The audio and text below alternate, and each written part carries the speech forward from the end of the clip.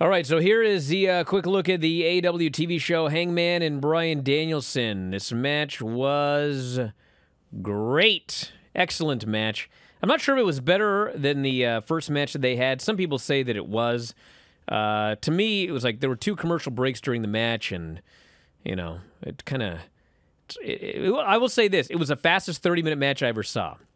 That was also because it was only 22 minutes on television. But still, they had a, an excellent match, and uh, this was one of those matches that Vinny and I talk about every now and then. They do these uh, sometimes in Japan where, you know, in America it's always near fall, near fall, back forth, back forth, back forth, back forth, counter, win.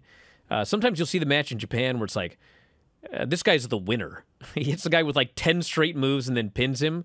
Uh, that's what they did here. I mean, Hangman at the end, Danielson went for this deal, and Hangman uh, power bombed him. He hit him with the ground and pound, and then he just hit him with his move and pinned him. I mean, he was the better man, no question about it here. And uh, no Jon Moxley, no follow up there. And but the most important thing to awesome. me coming out of that too was he kicked out of Danielson's knee, but it still only took one lariat you know, one buckshot lariat to pin Danielson, and that's important, especially when you got a young champion who, again, you're you're establishing this guy as being dangerous. So when that that buckshot doesn't work, now you've got some drama to the match. So, Shawn Dean beat MJF by disqualification. I think on television, this was the first ever disqualification in a one-on-one, one-fall singles match. When CM Punk ran in and gave Shawn Dean the uh, GTS and Bro, it was awesome because when you never do DQs, a DQ can be a storytelling device. And the storytelling device is at the beginning of the year, all of the records start over at zero. MJF wants to be the champion, but you have to have a good record to become the number one contender. Well, because of CM Punk, MJF is now zero and one. That's his record. He's got a losing record. And Punk told him, This happens every week until you face me. And so uh, MJF refused to face him, but did say next week it'll be CM Punk and Wardlow. So they're doing the slow build there. We had a Jericho segment with 2.0 setting up a six man on Rampage, not involving Jericho, but uh, without giving spoilers about who won. Jericho does get involved after that match, so it's a it's a slow build to whatever they're doing with Jericho and Eddie Kingston. Wardlow killed Antonio Zambrano. We had Jade Cargill beating Ruby Soho to win the title. Bad match. second bad match in a row for Jade Cargill, which also is the second match in a row where they've had her go long live on national television. Yeah. Because, you know, as I noted on the Dave show, this is not hard. If you want her to be champion, fine but on national television, she's Goldberg. If you want her to work longer matches to learn, which you should, on Dark and Elevation, knock yourselves out. But on national television, it needs to be in there, boom, boom, boom, slaughtering everybody. I realize that there is an expectation for great wrestling, but you can have a Goldberg. You can have one person who is Goldberg. And if you want Jade Cargill to be champion, she can do a competent three minute squash match.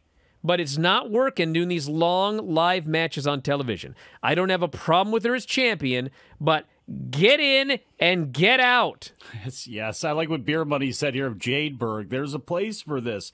I like Jade. I like the fact that they went in this direction with her. But like you mentioned, I thought they were doing a lot of this with Ruby's shoulder to, to give an, an out to have a short match. And, and they didn't end up doing that. And they're not, they're not going to help her with this. And that's flat out.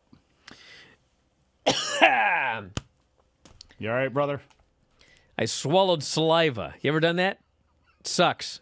Water is much better. Malakai Black beat Brian Pillman Jr.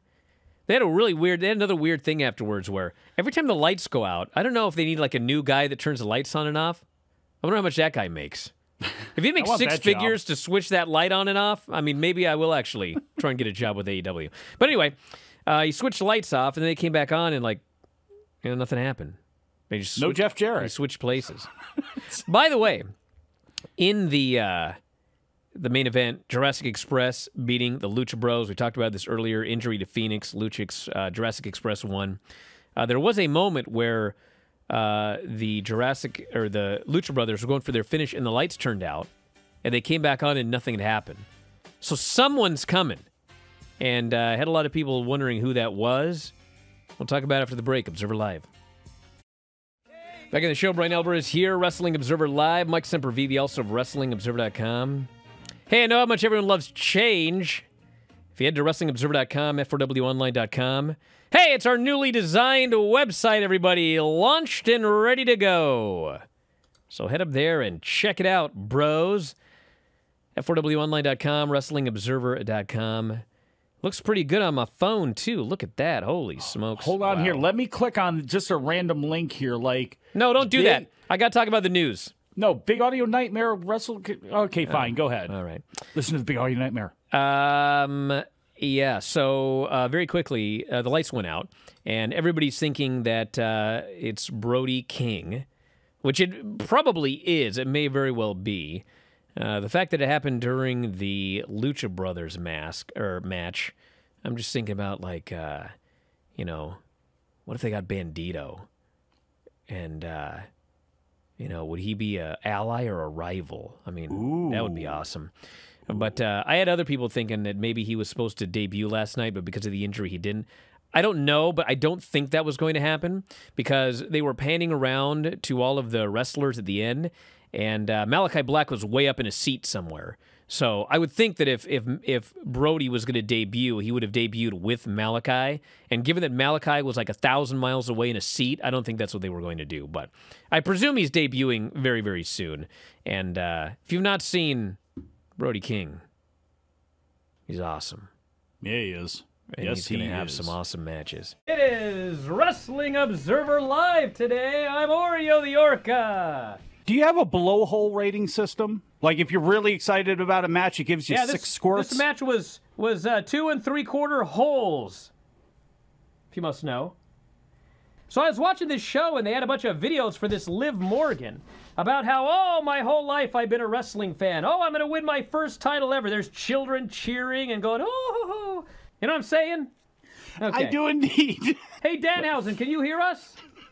Yes, can you hear Danhausen? Hey, look at that! Holy hey. mother of God! Look what we've done here. You broke a leg. Is that true? Uh, it was broken in half, snapped in two. The doctor said it was a tibia and a fibia. Uh, I'm a whale and not a doctor, but is it not a fibula and not a fibia? A fibula? What I know. Perhaps the doctor lied to Danhausen. You know, Danhausen, if you were a whale, you wouldn't have broken your leg. This is true because whales don't have legs. What did you grow up watching as a little evil man? Kane ripping off the door when he debuted. Yes. How old were you, Dan Danhausen, when that match took place? Oh, about, uh, what was that, 1997, so about 700 years old. Oh. Also, one time Dan Danhausen had Dolph Ziggler's theme song as his alarm and it went off in class. no, he didn't. Yes, it's true. Dan Danhausen likes Dolph Ziggler. You like Dolph Ziggler? He's good matches. If you enjoy these videos, for just $7.99 per month, you can enjoy full-length editions of The Bryan and Vinny Show, Wrestling Observer Live, Figure 4 Daily with Tom Lawler and Lance Storm, the Mad Men Podcast, Speak Now Pro Wrestling with Denise Salcedo, and more, plus hundreds of archived shows, all in beautiful HD. Don't miss out. Join us today.